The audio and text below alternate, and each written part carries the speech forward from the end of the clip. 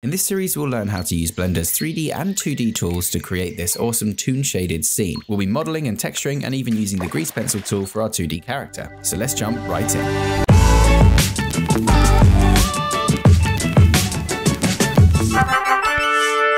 Tip Tut. Hello everybody and welcome back to TipTut and to this Blender series where we've been working with the 3D and 2D tools to create a complete scene from start to finish. Last episode we added some nice details to our scene and animated our 3D elements. If you haven't watched the episode then you can do so here. In this final episode we'll be working with the grease pencil tool to add an animated character into our environment. Great let's jump right into it. All right, so it's finally time to take a look at our 2D animated elements using Grease Pencil. So first things first, we're going to turn off all the modifiers that we don't need because we want to be able to watch our animations back in real time. So I'll press A to select everything and I'll just use this modifier tools plugin to turn off all the modifiers. Then I'm going to turn back on the curve for both of these objects here. And also on our plane down here, I'm going to turn on all of the modifiers, including the grass for now, just because when we draw our character, we're going to need to know where the edge of the grass sits. And it's important that we have the modifiers on for the ground plane because we need to see where the bottom of our sand is so that we don't accidentally draw things that are clipping through it once the modifiers are turned on. Uh, we're also going to be interacting with this rock and this rock. So I'm going to select both of them and turn on all their modifiers. But the rest of them, we're not really going to interact with. So that's fine fine. First of all then, let's create the water base. Now I'm going to shift right click to move my 3D cursor to roughly the height that I want the water to be. Then I'm going to shift A and choose new grease pencil blank. So we're going to make things easier for ourselves by going to our overlay options here, turning on onion skin and canvas like so. And you'll see now that we have this kind of grid around our 3D cursor. Now, when you create a grease pencil object, you can then tab into something with control tab uh, called draw mode. There's a few options that you need to make sure you set up properly first of all. For this, we're going to have our strength of our brush set up to one, and we're going to turn pressure sensitivity off, and we're also going to turn off um, sensitivity for the radius as well for now. Uh, we'll also need to make sure the stroke placement here is either set to origin or 3D cursor, surface, or stroke. And we'll be using basically the top three of these for different uh, parts of our grease pencil project. For now, you can leave it to origin and the angle at which you will draw, you'll need to set to top. And you'll see then that even if you rotate your camera, your grid stays at the same angle. So no matter what angle I draw from, okay, the line is going to be completely flat. Now, if I were to set this to view, you can see that it rotates with my camera view. So if I were to draw, say, um, a square and then rotate it, and then another square and rotate it, you can see that it's actually drawing based on my view angle. We want to draw in top view for the water, so we're going to change that to top. Let's go to top view mode as well so that we can see exactly what we need.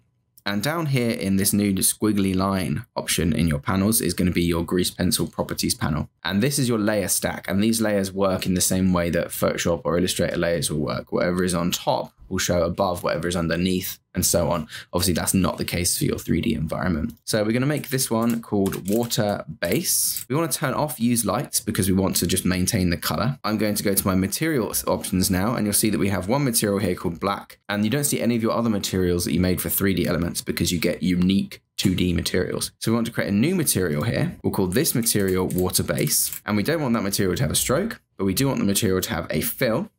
And the fill color for the material, we want to be one of the blues from our color. So let's click that and let's eyedropper this lighter blue. So now when I draw in my scene, I will have a completely blue. And as you can see, it's fully 2D. There's nothing underneath it. Let's tab back into object mode with that base layer set up. And I want to move this down in Z space. This is the whole object. Move down in Z space until the top of that rock peeks through over on the left there. But we don't want our water to be completely opaque. We'd like it to be a little bit see-through. So over here in the layer palette options for my grease pencil object, I'm just going to drop this opacity down to say 0.8. Good thing about grease pencil as well is that if you decide you want to change your materials, obviously they will all update based on any changes you make, whether you've used them in the scene or not, in exactly the same way that your normal materials do. And we're going to leave this alone for now. I'm going to do a really simple bit of animation to get ourselves started because if I did this whole animation in real time, it would take like eight hours for this tutorial. So what I'm going to do is I'm going to show you an instance of animation for each type that we're going to do, drawing on a surface, drawing along a plane, drawing along the view, all that sort of stuff.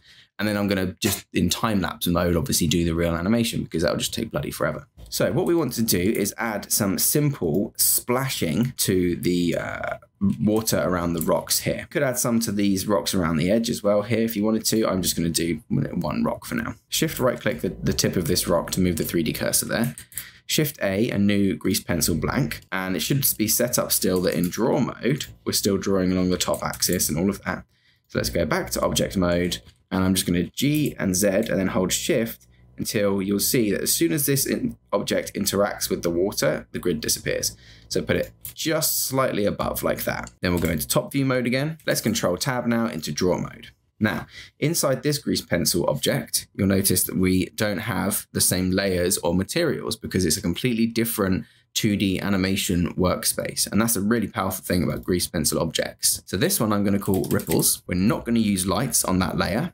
I'm going to create a new material that we're also going to call ripples. And for this one, let's have a fill with no stroke and let's make that completely white. And let's drop the opacity of this layer down to say 0.7. Making sure that I'm on frame zero of my timeline here, I'm going to go to the dope sheet, which basically shows all keyframes in the scene. Okay. And then underneath dope sheet, we want to show our grease pencil keyframes. And you can see that we have a keyframe here on our first frame. And using my ripples brush on my ripples layer, I'm just going to start drawing out my first set of ripples, okay?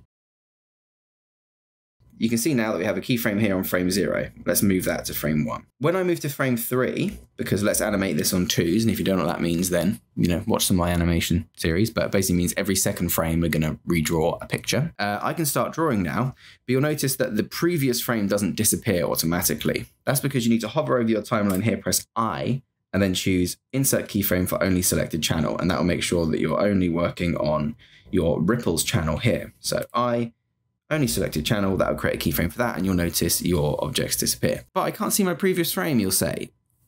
That's weird, I have onion skin on. And then you'll go down to here to your onion settings and you'll be really confused because, you know, you should be able to see. So maybe you'll try changing the color to like red or, or, the next frame to green. And you're like, oh, maybe the opacity isn't high enough. I can't see it. This baffled me for a while. Turns out it's a bug, I think, because if I close Blender and reopen it, I immediately get my onion skin. If you don't get that, if you see your onion skin, great, the bug's been ironed out. If you don't, just reboot and open Blender. Luckily, it saves exactly the interface where you were, so you'll still be in exactly the right place. So now we're on frame three. We can see our previous frame is now red because of our onion skin color settings down here.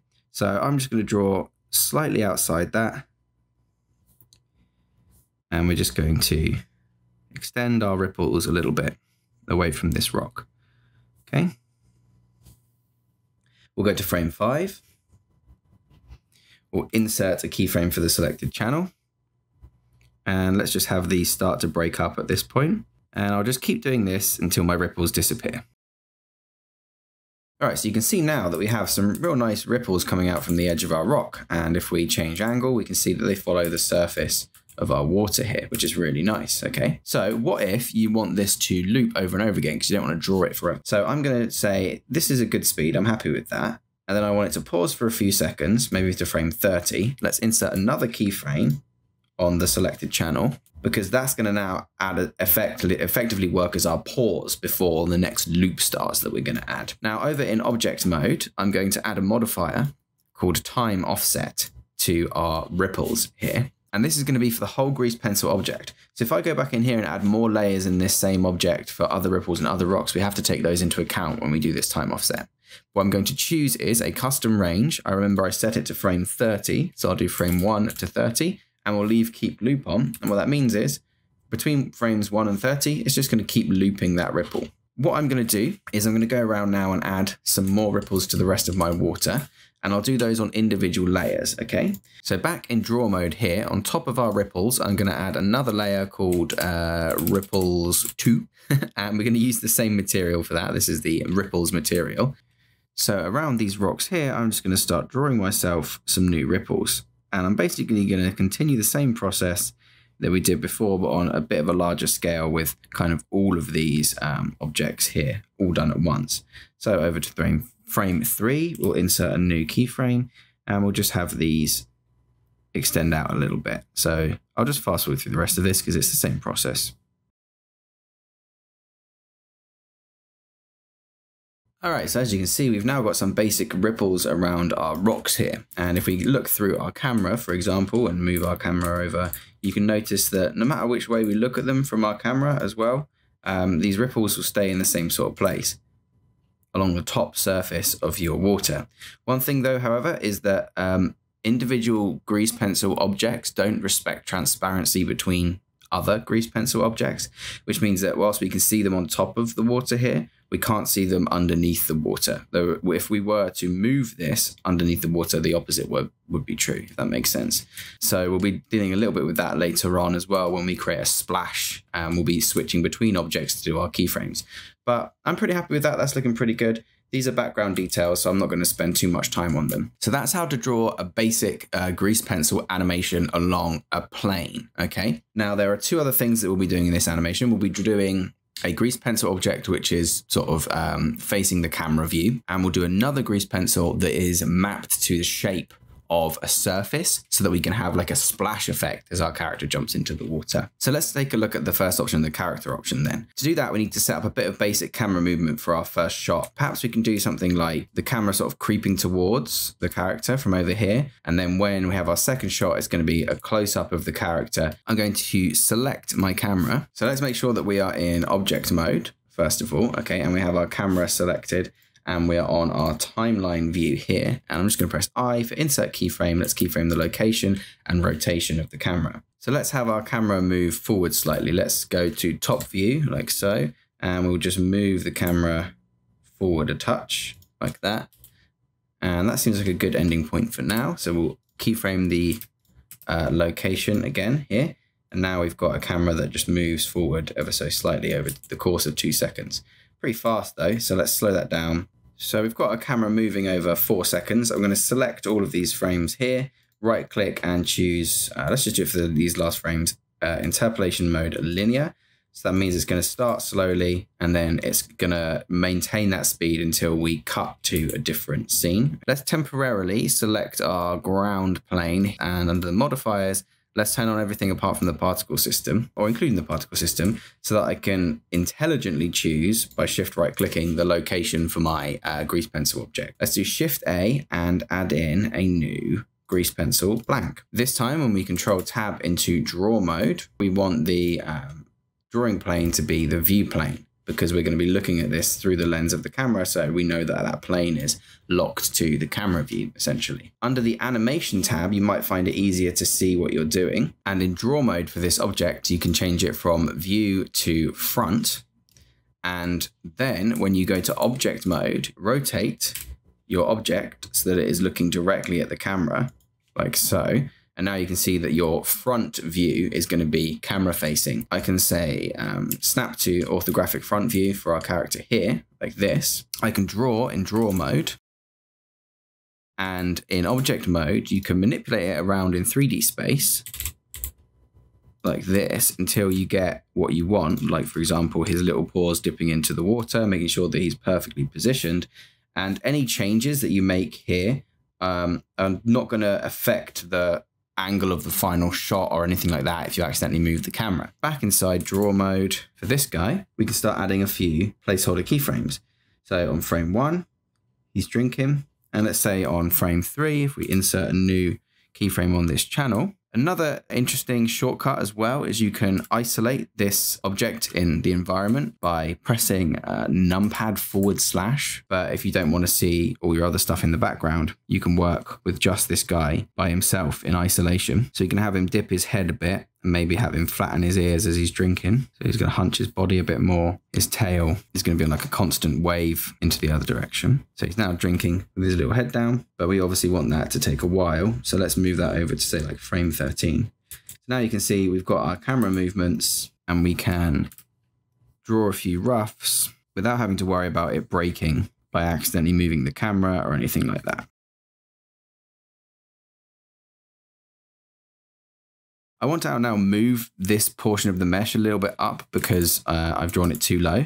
So I'm going to go into edit mode and I'm just going to move it around um, by pressing A to select everything and then Z just to move that up, and then Control Tab back into draw mode so that I can continue drawing the rest of his body because he's going to raise his little paws up a bit and his tail is going to slink downwards as he thinks he detects danger. Then just before the camera cuts, say frame 92, let's have him start to stand up as he's going to try and like meerkat his way out of the situation by looking up over his shoulder and perking to see what's there. His ears will start to move upwards. His paws, front paws at least, or one of them will leave the ground. His back will start to arch as he prepares to lift his little weight up, and the tail will continue to move downwards. Now, at this point, we've got our guy drinking. Then he starts to see something, and then the camera is going to cut. So we'll move that back to frame zero so it starts at the beginning. Starting to drink from the stream. That seems good. Now let's go back to our layout mode. Select our camera. Frame 92, he's coming up. Frame 97, let's have it uh, cut to a completely different shot. Something like that. So let's select the camera. Let's keyframe location and rotation. And because there's a one frame difference, that's going to be a cut and let's have it take maybe this many frames to just move upwards a little bit, keyframe that location. And what we've got there is a cut that goes up and settles in to our character like that. I want to change the speed of this camera movement though. So let's go to our graph editor and normalize those. And if we twirl down object transform and we've got Z location here, you can kind of see what's going on. We have a big snapping movement and then like a linear kind of movement here. Select our Z location and lock everything else so we don't accidentally select anything else, right? And we want to go to our speed. Interpolation mode, let's do um, Bezier and let's shift this handle by dragging it and then pressing X to lock it to the X axis move that over, and then we've got this little whip upwards that feels a bit more natural because he's going to rise into this position to look over his shoulder. So we're happy with that now. Let's go back to animation view, select our um, object here and go into draw mode. Boom, we've now got this. One last thing that we forgot to do is that we are now going to need to keyframe the rotation of our 3D, uh, of our 2D object here.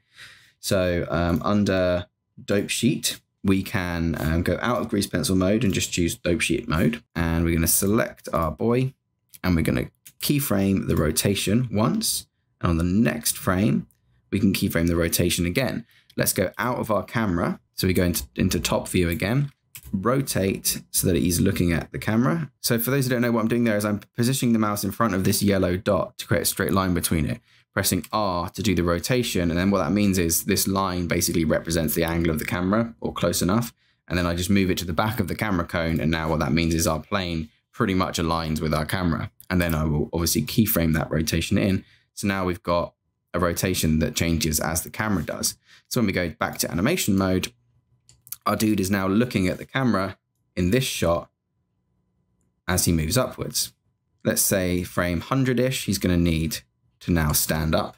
So we can tab into draw mode here and we can draw our guy standing up. So let's press I down here on the selected channels and let's stand our guy up.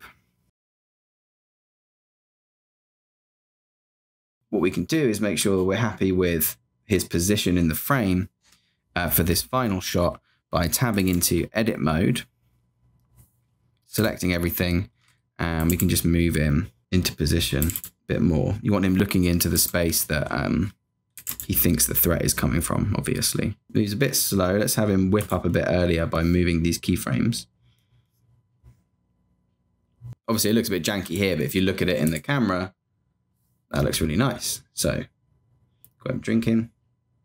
Here's a noise. What was that noise? He doesn't know. And then we're going to cut to the final shot where our character is going to sort of jump into the water from above. So back in layout mode, let's go to camera view around about here, frame 140. Let's move this camera above our guy like this. The guy was just looking to the left, so we'll position him left here. So that's looking pretty good, but I reckon for this shot, it's probably easier just to make a new creature object rather than continue to try and use this one uh, for a completely different angle. Go to your um, animation frames at say like frame 140 for this guy and in draw mode obviously uh, we can just press I for new keyframe on selected channels. And then at frame 140, that guy is going to disappear. All right. Back in layout mode, what we need to do now is just go to where our creature is, and we need to press Shift S and just choose cursor to selected, which is going to make us put a new grease pencil object in exactly the same place. Let's do Shift A, new grease pencil blank, and we'll call this blank, which accidentally put inside the rocks scene collection there, creature 2. We will tab into drawing mode, or animation mode rather, and on our creature 2, we can tab into draw mode and choose the plane to be top. We can draw the base of our creature. I think about that sort of size will work. That looks pretty good. Uh, and you may have to ever so slightly, just as before, just shift this guy up in the scene so that his little booty doesn't get clipped through that land there, as you can see. Um, we'll have his little tail bunching up like this. His little head is here because he's currently standing up. So his ears are kind of like that. And he's going to launch himself into the water, essentially. So he roughly looks like this at the moment. So you can see at the moment, even on this level here, his little tail is still clipping through the earth. But the good thing is because this is completely 2D, you can of course just move him upwards until his tail is not. Now, if you looked at this in the layout mode, not inside the camera, oh gods, uh, there we go. You'll see that he's actually now kind of floating, but it really doesn't matter because you're looking at it through the camera. So uh, in animation mode with the camera preview, this will look totally fine. So what we'll do is let's say go to our dope sheet view and we're going to animate the position of this element. First of all, let's go to say frame 200 and let's pull the camera back upwards. So let's go into the camera view like so, and let's go to G, Z, and then Z for local, and we'll just have it scale up ever so slightly and move so that I don't have to fix that plane op object there. We'll keyframe location and rotation again, even though we didn't technically use rotation this time. Cool, so that looks pretty nice, just a slow drift out, okay? Let's select our grease pencil object here, and let's keyframe its location. Then say, as he's looking around, he's going to choose to jump into the water, so we'll keyframe its location there, and then we will move it, leaping into the water. And then at this point, we're going to cut to a different angle anyway. So let's go then to location here. And now we've got him kind of jumping like so. And we're going to need a splash that appears in the water here. What you can actually do as well is if you wanted to, you could move him down to the surface of the water and then keyframe that location so that you've got that jump so that his finishing point ends up closer to the surface of the water. Obviously, to animate this guy jumping, you just need to add a few frames.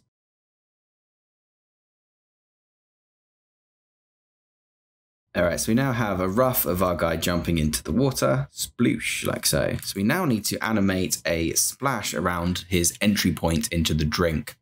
All right, so we now have our little guy jumping into the water, or at least the rough of it. What we need to do now, the final type of um, grease pencil animating you can do is drawing along the surface of an object. Okay, and we're going to use that to really easily create the splash effect as our guy hits the water. We need to bring a shape into our scene that we can map our grease pencil object to. So uh, I'm just going to uh, Shift S and move the cursor to my selected object, and then I'm going to Shift A and I'm going to bring in a new mesh.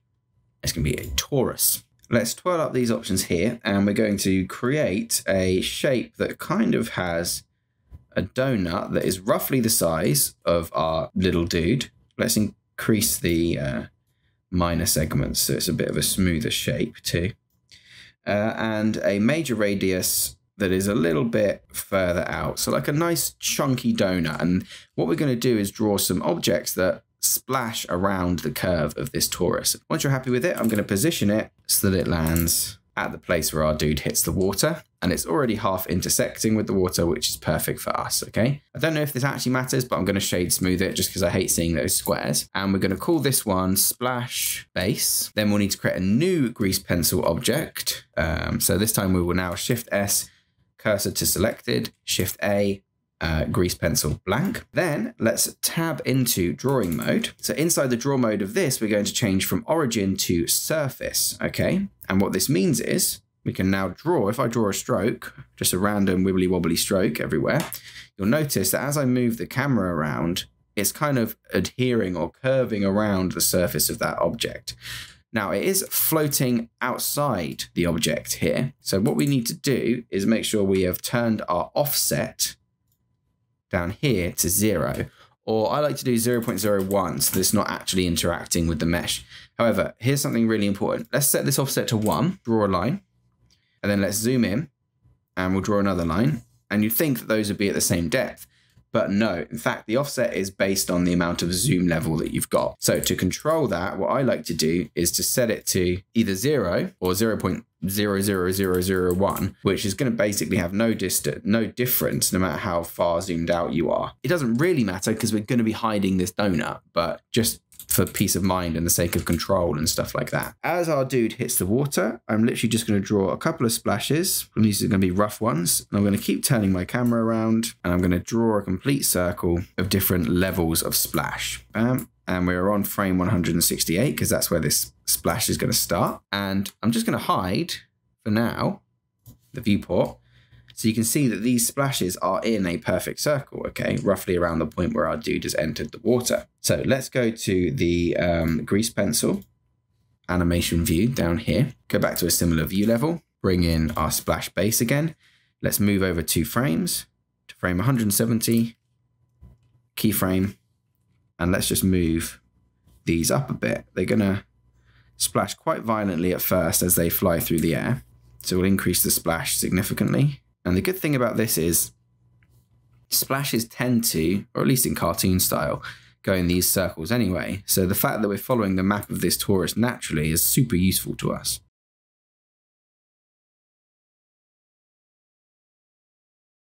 All right, so now we have our guy landing, splosh, and we have some water following the shape of our donut. And if I turn this donut off, you'll see that we get a splash that follows the shape of that donut. Man, very nice, okay? Obviously, there'll be ripples that follow after that splash has landed along the surface of the water, but we already know how to do that by just adding more strokes to our ripple object that we made earlier, okay? I may choose to add another shot from underwater to this later on. Um, I haven't decided yet, but I think that'll do for now. So we've got our guy down here taking a drink. You notices something? And he's like, oh, hell no, I'm out of here. Splosh.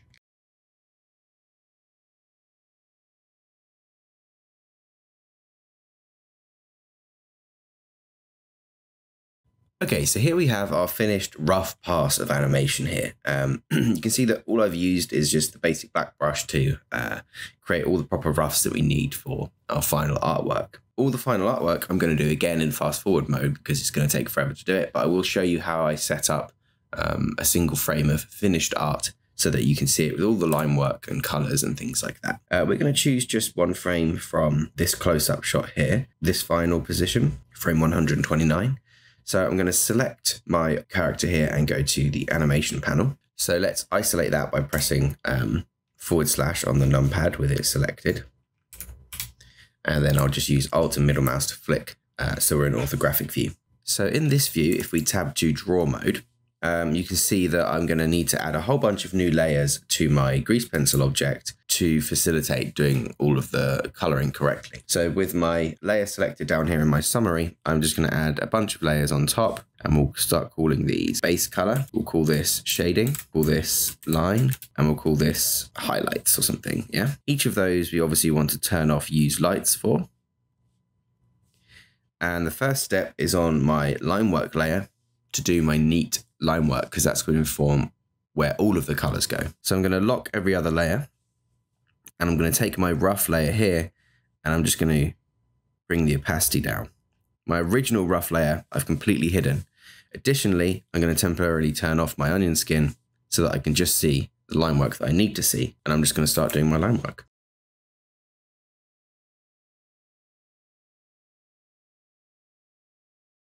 Great, so that's my line work for this frame done. Uh, let's start adding some base colors in. To do that, I'm going to need some new materials, obviously. So let's go to our materials panel. Uh, let's temporarily exit isolation mode so that I can start looking at my color palette. Uh, which we will just make visible. Um, and I'm going to create a new material and we'll call this one um, fur. Let's turn off the stroke, turn on the fill, and let's eyedropper uh, a nice, perhaps this nice dark blue. And even if we don't like these, we can change them later on. This brush I'm going to call shadow, and that's just going to have a black fill. Then we'll create a new brush for light. That's going to have a fill of a slightly lighter blue. Let's just choose this blue here. And then we need uh, one final material called eyes. That's also going to have a fill. And let's choose this nice bright green that we've got here. I think we will need one more actually. And that's just going to be highlights. And that's going to have a fill of just pure white. Okay. So back in our layer palette, in isolation mode for our creature, let's start coloring this guy in. You can use the paint bucket tool but the paint bucket tool will take into account all of your uh, existing visible line work, including rough layers. So for example, if I go to my base color layer and I choose my fur material and I try to fill in, you'll notice that it will take into account my shading or my sketch layer. So we just need to turn off that visibility and bam, all of a sudden you'll be able to fill in your character with no trouble. Obviously there are points here that I haven't connected my line work stylistically. And there are also points where it's not going to fill in completely perfectly. Okay. And you can play around with your precision or your dilation settings to fix that. Um, but what I like to do is just get a base color in there like so. And then I can use my drawing tool, my pencil tool, to just come in and clean up like this really easily. With that on, our base colors, we're now going to need a layer for our fur light. So I can turn my rough layer back on and I'm going to temporarily turn the opacity of my color layer down so I can start to see some of the details. Like for example, here, I'm going to need a belly for my guy.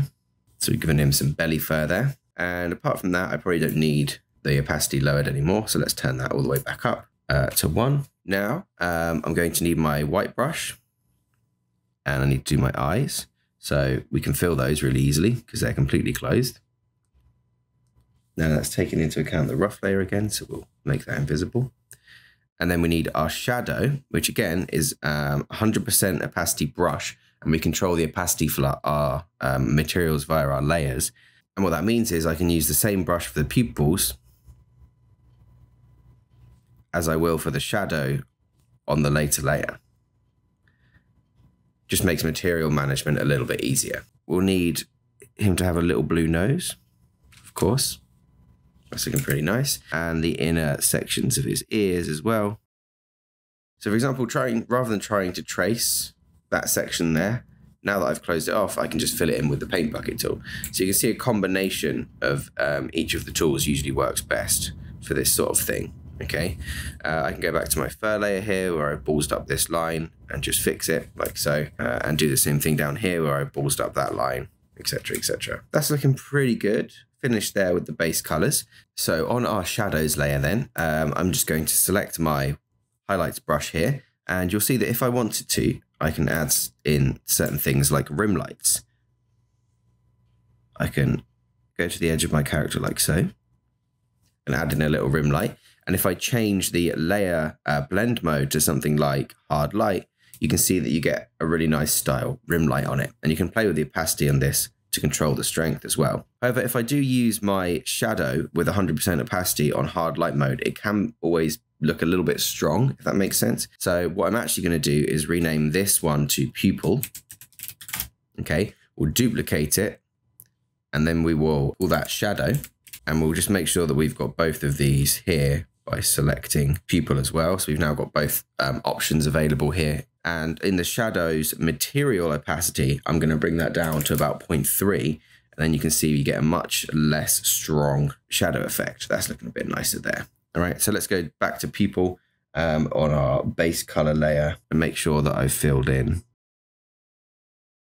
Okay, so that's looking pretty good. Uh, I'll just add a few more highlights by making sure I'm on the right layer, locking all the others. Whether I'll have highlights or not in the final thing, I don't know yet, but just to show you what that workflow might look like. I'm just going to add in a few here. So let's add in some shadows on his tail. Like that, that looks pretty good. The only issue with doing um, shadows this way is that if you need to uh, correct yourself, maybe add in an extra part, you do get overlapping because the opacity is on the brush rather than the layer. The way to uh, solve that, of course, is to, if we just undo all of our shadow strokes here, uh, the way to fix that is to put the opacity of your shadow back up to one, go and create yourself a new layer, rename this one to highlights, and we'll put our shadows on a separate layer, the opacity of which has been lowered, and then you use a full opacity material. So let's change that blending mode to hard light. And then you use a uh, full opacity material to draw your original shape. And then when you touch up, it's obviously going to use the same opacity controllers. So completely up to you how you do it. Final thing then on my base colors layer, I'm going to go to my eyes material and I'm going to change. Final thing then, and I probably should have done this before I colored the eyes in, um, but I forgot, is to add our guy's pupils, sorry, our guy's irises, and we'll just add those pupils back in. That looks good. And then on our very top layer, highlights here, which we're going to unlock, I'm going to select my highlights brush, which is just pure white. And we can add in some highlights to the eyes, okay? So now we have our first fully colored frame. Now, obviously that took a little while, but uh, you will get faster as you go. And also, you won't be explaining it each time. So, yeah, what I'm going to do is just go through my animation now and color everything. I like to do all the base colors first, and then I'll go back on a second pass and add the highlights and things like that. Just find it a little bit easier. Of course, at the at the moment as well, the only frames I've got in my scene are my holding keyframes. I haven't done any of my in-betweens or anything like that. So welcome to the world of 2D animation, right? Takes a while. um, but every other frame done in this um, style is done exactly in the same way. So we're just going to fast forward through all of that uh, and I'll see you on the other side. Okay, so here we have our finished 2D grease pencil animation. Now, the final thing you need to do once you're happy with your work is to, of course, export it. Now, I recommend exporting your sequence as a series of images, and you can do that by going to your output settings or output properties, scrolling down to the output section, and choosing PNG as your output properties. Uh, this will give you a series of images that you can then compile into a single video using whatever software you like. Um, After Effects Premiere, there's even a way to do it in Blender and then you can compile those images together into uh, a video. If you want to skip that step, however, you can, of course, change your file format to FFmpeg video and the container to MPEG-4, and this will just give you a MP4 video as soon as you export. Uh, the issue with that is if your computer crashes halfway through, then you'll lose the whole video and you have to start rendering again. Regardless of the output settings that you choose, you can just go up to your render options here and choose render animation to render your entire animation completely. That will open up this additional window here in which eventually you will see all your frames being rendered and this might take a long time, uh, usually up to about 30 seconds per frame on my PC with all of the materials and particle effects and things turned on. Once that has finished, however, you will have a folder full of PNGs or you will have your finished MP4 file and that's it. All right, and there you have it, a completed 2D plus 3D animation workflow in Blender. Uh, I really hope you enjoyed this tutorial series. Um, if you did, let me know make if you want me to make more and things like that by commenting, sharing your ideas, sharing the issues you had with it as well. Because, uh, like I said at the beginning of this entire series, um, I'm still learning Blender, and this is just the way I do things. I'm in no way saying that this is the best way to do things.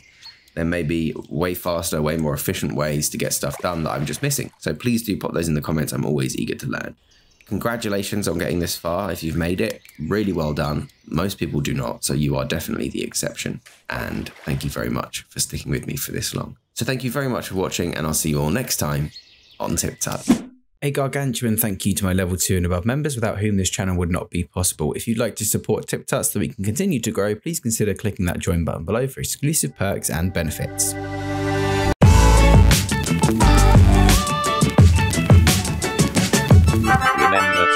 Subscribe for more tips, tricks, and tutorials. Thanks for watching.